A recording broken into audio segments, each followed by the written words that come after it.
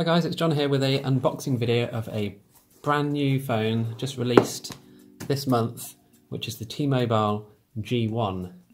Now this phone in here is 3.2 inches screen size, it's got a 3 megapixel camera and it's got 192 megabytes of onboard storage so I'm really excited to see how this thing looks. So if we just get this open. So Christmas has come early. Okay.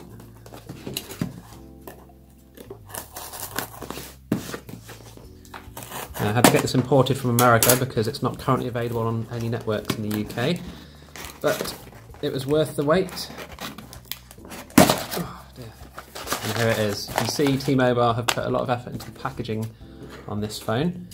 It comes wrapped up in a nice brown paper bag You've got some beautiful sort of red polystyrene bits here. So let's uh, let's have a look what the phone looks like. You see T-Mobile have gone out of their way with the packaging here. It's really a secure setup. That's got to be the smallest power adapter I've ever seen in my life. Let's have a look. Output of 5 volts and 1 amp. You've got your mini USB connector here, a beautiful pink car adapter, which again is a 1000 milliamp output. And if we just unbox here, this is the phone itself. So we can see the beautiful 3.2 inch screen. We've got a trackball. Can you hear that? And we've got some beautiful physical buttons here so this screen is capable of 65,000 colours. It's a TFT capacitive touchscreen. It comes with a beautiful Qualcomm MSM7201A processor, which runs at about 528 megahertz. And the amazing thing with this phone is, of course, the keyboard. Now look at that. Isn't that a thing of beauty? You can really imagine typing hundreds of messages out on this thing and then coolly just sliding it away before you put it back into your pocket. Here we have the volume rocker on the right left hand side. On the right hand side we have got the camera button, dedicated camera button, not something you see that frequently nowadays on phones. You've got this lovely compartment here which reveals the mini USB charging port so I think without further ado, we need to turn this bad boy on and see how it performs. If we hold down on the power button here. It's not looking good so far, so we need to get a power bank and plug it in. Okay, so we'll plug this into our power bank here. We'll put it on the super speed charging port because obviously this phone will support super fast charging. And we'll just plug that in. And off we go.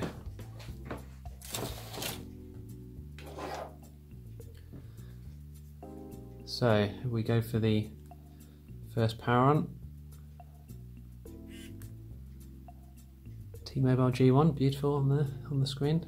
You can see the viewing angles are absolutely fantastic here. Wait for the first boot.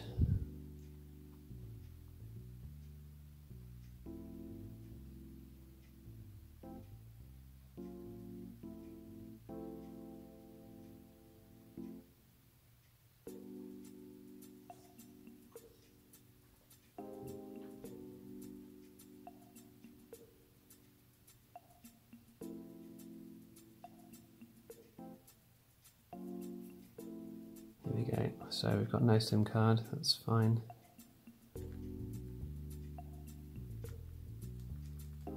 Can't seem to get past this.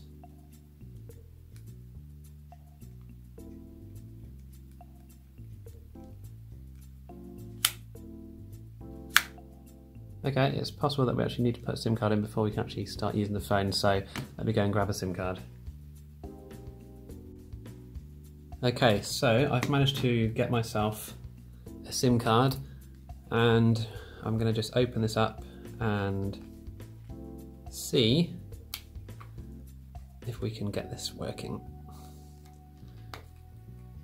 While I'm doing this, uh, the phone does come with a dual touch touchscreen, which means you can have two fingers on at any time. And I don't want to break this, but it is quite stiff to open up.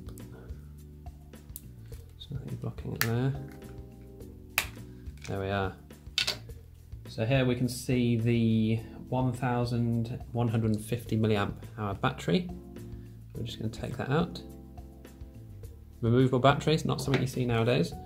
And we're just going to slide our SIM into the slot here. So this is a standard SIM card. And we'll just have a look inside. Yeah, this is the Dream codename version. So the version of Android we're running is hopefully going to be around the sort of 1.0 mark. So let's pop that back in there. You can see the 3.2 megapixel camera there. Nice and snug. Okay, we'll plug this back in to get it charging and we'll power it back on. While this is loading up, a few of the other things this features. It has a GPS, an accelerometer, it supports Wi-Fi both on 802.11b and G.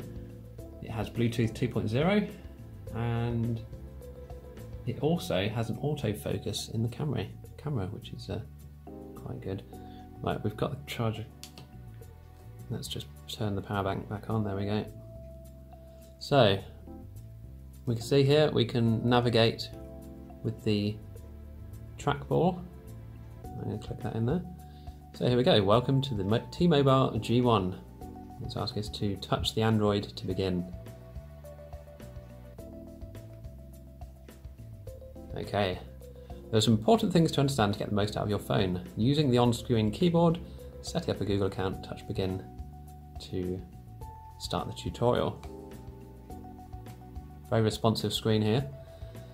Using the on-screen keyboard, so it's telling us here how to open the keyboard You can see it's quite a quite a nice little screen.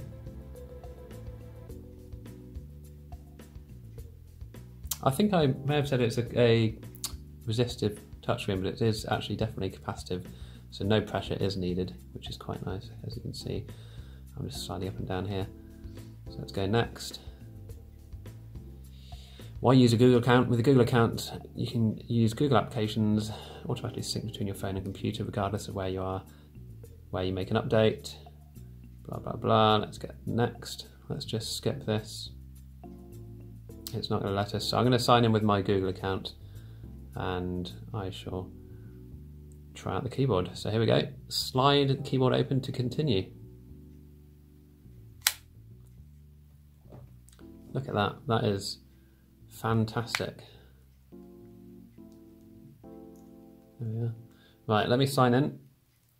We're now signing in.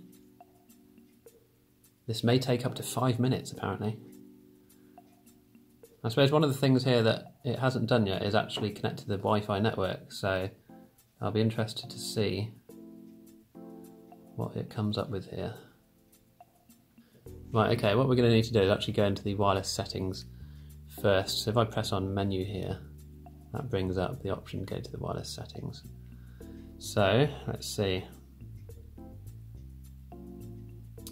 It's not actually giving us any Wi-Fi settings, is it?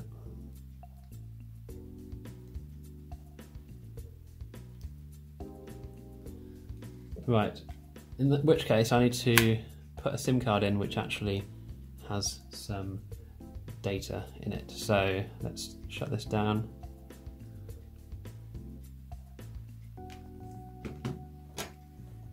We'll use a different SIM card. And we're going to have to convert my nano sim into a good old fashioned standard size sim, which I do not have the pieces for. So in which case I will pop that out of there and pop this to there. Okay, so now we'll stick this back in the phone. And we shall try the initial setup again.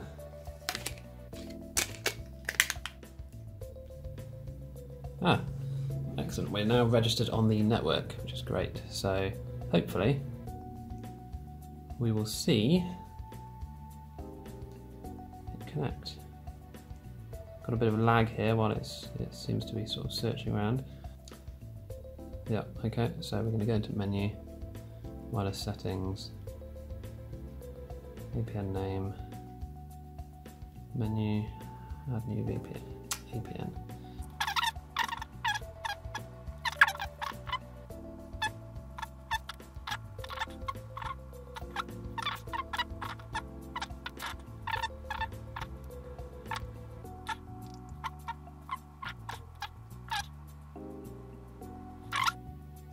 Ah, success.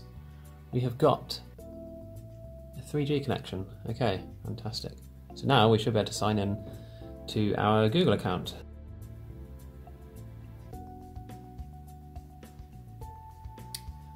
I think, yeah, so there we go. My other account didn't work because it has two-factor authentication and that probably is quite a long time before this phone actually supported that sort of thing. So that's fine.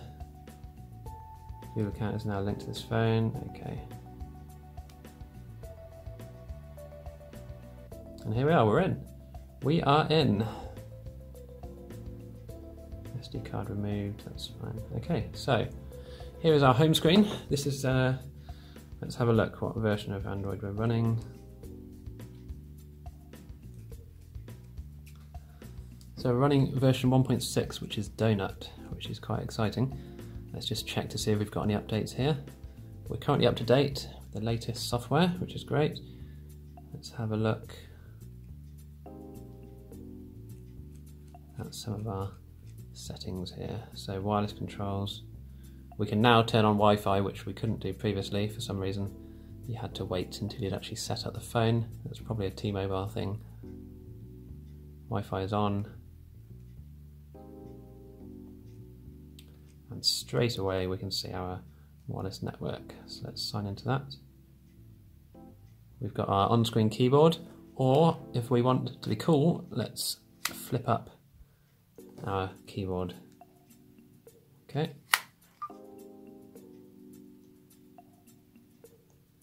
So we're on Wi-Fi now, which is brilliant. We've got Bluetooth, airplane mode. This is the highlight technology back in 2008, but now reimagined in 2017. So let's see what else we can do. Sound and display, we've got a silent mode. We can set our ring volume, turn vibrate on and off. Okay, let's see what our ringtone is. Not the uh, best ringtone I've ever heard. It sounds more like a notification tone. A caffeinated rattlesnake, that's a scary uh, sound. Okay. We can turn on audible sounds, so when we press the screen, it makes a sound. Switch orientation automatically, but it doesn't support landscape in the settings, which is a shame. Show animations, brightness of the screen. Let's see how bright this thing can get. God, look at that. You can be almost blinded by the brightness of this. That's great. Screen timeout. Let's set it to 10 minutes.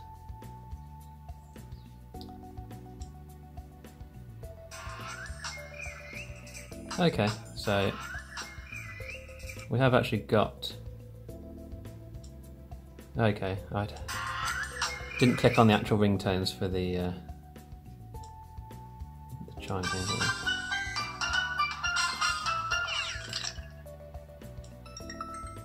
Some fantastic sounding things here.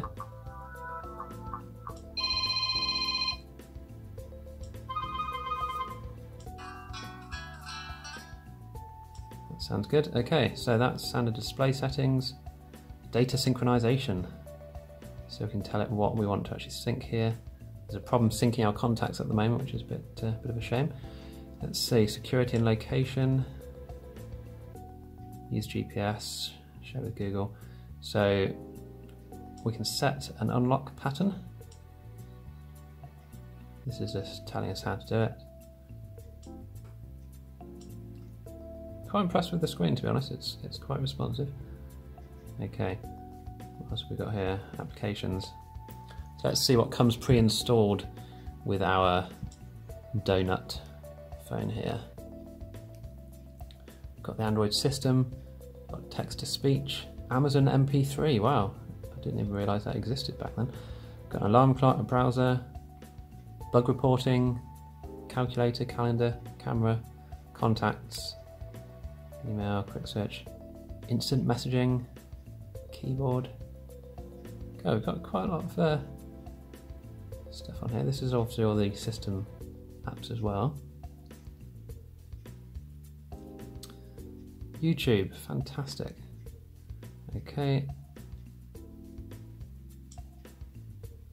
Look at that, we can even set quick launch settings for the different keyboard buttons, which is quite exciting. So pressing search and G should bring up Gmail. Search and I, the calendar. Search and M, Google Maps. Let's just try one of those.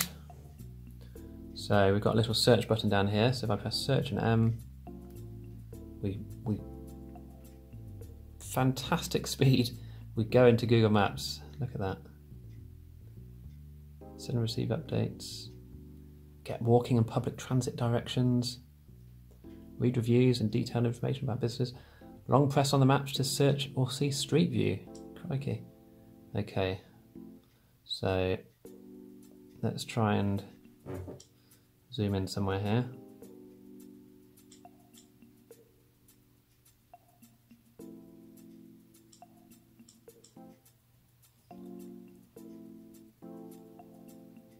Considering its age, I'm quite impressed with this so far. So let's see if we can get Street View loading.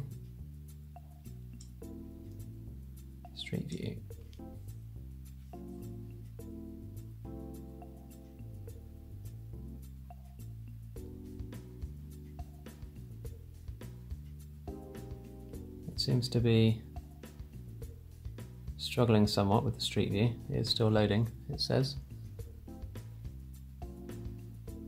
Oh, there we go. And we've got it. Look at that. And I'm sure we can move back and forth. It looks like rather than a nice transition to the next image, it does actually take quite a while to load up. Which is fine, we are using a phone which is uh, nine years old. So let's go back home, back into our settings and see what else we have here.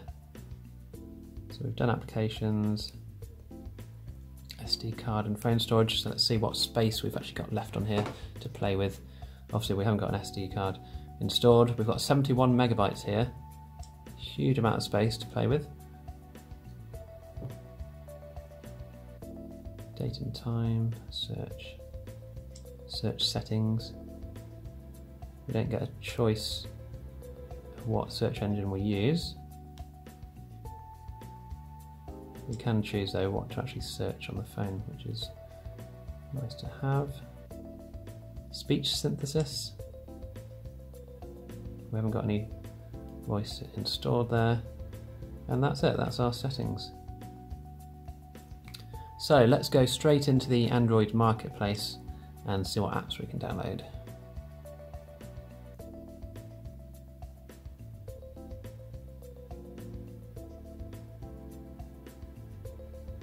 accept these terms and conditions. God, doesn't this bring back lovely memories?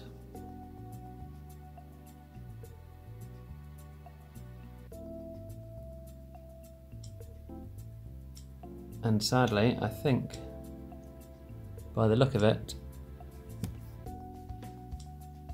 the Android market is completely dead. Okay, so we may have to make do with what apps we've got on here. Let's load up YouTube.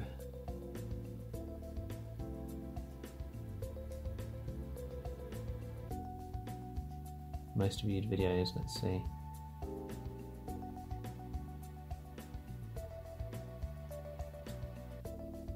It's taking a worrying amount of time to actually load anything up.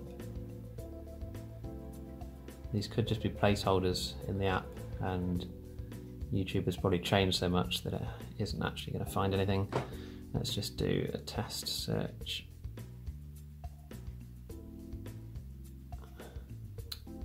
If I can spell test. There we go. Search results for test. Nobody has found. Okay, so I think by the look of it, YouTube is dead on here as well.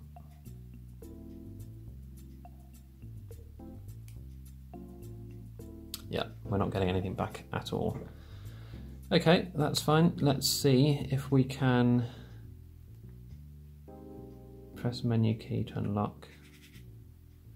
Okay, let's try out the browser, see what speeds we get from the browser.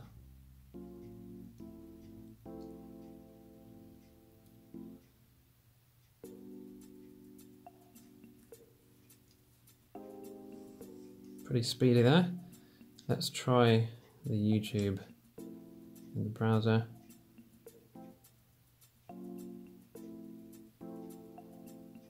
I'll tell you what, I'm going to use the keyboard because it's actually easier to type on. Right, YouTube.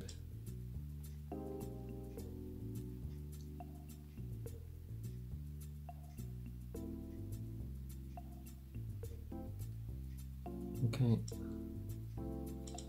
You can, of course, around here. Oh, I wonder whether oh, the date is correct. We'll continue anyway, that's fine.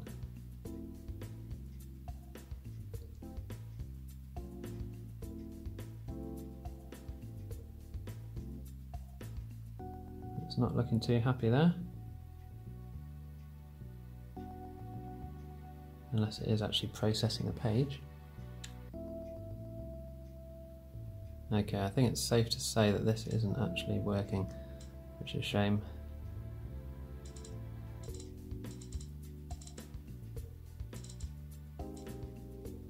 Let's just try something else.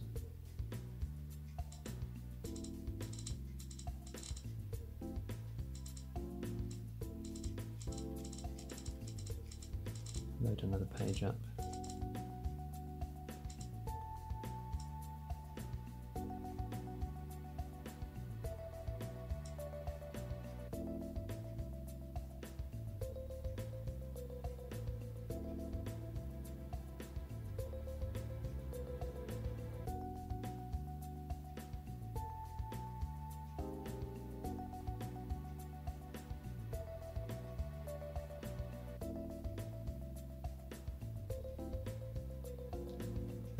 Got a page this time, which is good. Let's see if we can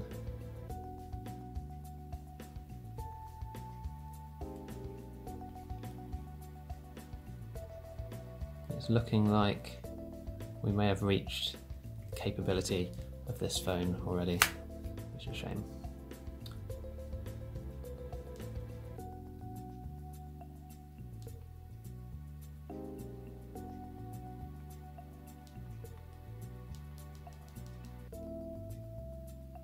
Think the CPU is completely maxed out. It's, it's getting quite warm. I think we have actually completely killed T-Mobile G1. Anyway, I hope you uh, found this interesting and useful. Um, I'm going to just turn this off and take my card out now because this is dead. So let's get an object and see if we can take a photo of it. Okay. So let's go into the camera.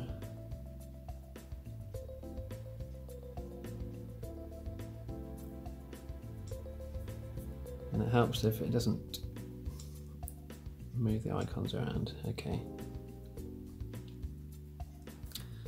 So here we are. We can see the responsiveness of the camera itself. Pretty fantastic. So because our phone wasn't charging. It's now powered off. I think you get the uh, the idea there. Um, what I'll do is I'll let the I'll let the phone charge and I'll do some battery te- some camera tests and uh, let you see the results of those later.